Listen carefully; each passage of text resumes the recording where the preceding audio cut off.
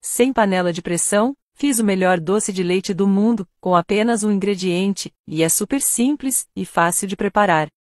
Para começar nossa receita, vamos precisar de uma forma de alumínio. Aqui eu tenho essa com furo no meio, mas não precisa ter o furo no meio, está bem.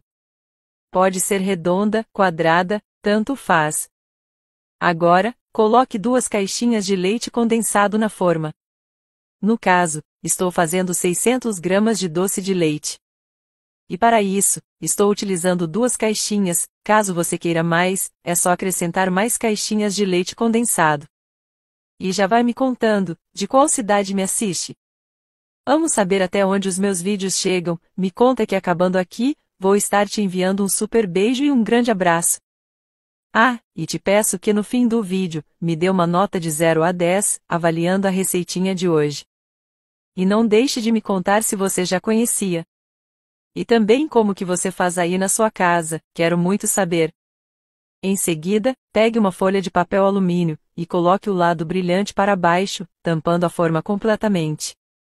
Agora, pegue outra forma de alumínio e coloque a primeira dentro dela, essa segunda, tem que ser um pouco maior, porque vamos fazer o banho-maria.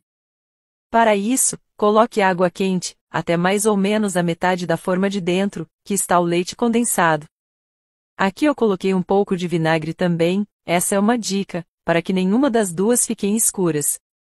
Agora é só levar ao forno pré-aquecido, a temperatura e o tempo vai variar de forno para forno. Aqui em casa, eu deixei a 270 graus por 1 hora e 30 minutos.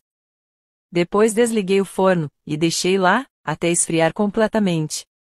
Você também pode fazer no forno elétrico, no caso, a 230 graus Celsius por aproximadamente 2 horas. Se você quiser um doce de leite mais clarinho, caso você queira um doce mais escuro, é só deixar por 3 horas no forno. Olha só o resultado. Olha só que doce de leite mais lindo, brilhante e cremoso.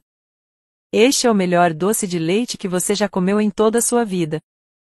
Faça aí na sua casa que eu tenho certeza que você vai se surpreender. É delicioso. E se você tem medo de fazer na panela de pressão, tem essa opção maravilhosa no forno. E você ainda pode aproveitar e fazer outras receitas ao mesmo tempo em que faz ele, para já aproveitar o gás, ao mesmo tempo já coloca para assar um bolo, um pudim? Muita gente tem medo de fazer na panela de pressão, eu também faço aqui em casa e não tem risco nenhum, mas muita gente não tem coragem de fazer. Então, eu trouxe essa dica maravilhosa de fazer no forno. Dessa maneira, fica magnífico. Veja só essa cremosidade e consistência do nosso doce de leite.